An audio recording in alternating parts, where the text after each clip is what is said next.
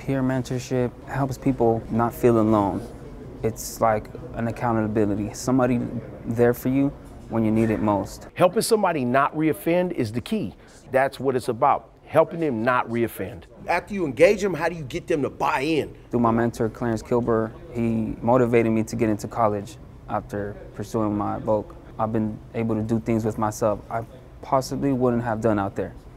I know I wouldn't have done out there. Mentoring them and helping to facilitate groups is what helped me actually learn a lot about myself. For so many years, I've been part of the problem. Now I'm actually being a part of the solution right? And the thing is, you know, how big of a footprint can I leave behind for others to follow? What's the legacy here? You guys are thinking about everything you could do in here. Why aren't you guys thinking about what you could do out there? It's a great sense of satisfaction knowing that I'm helping.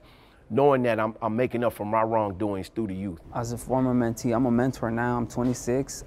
I definitely offer relatability to the youth. If I see someone that needs help, I'm here to offer them that help.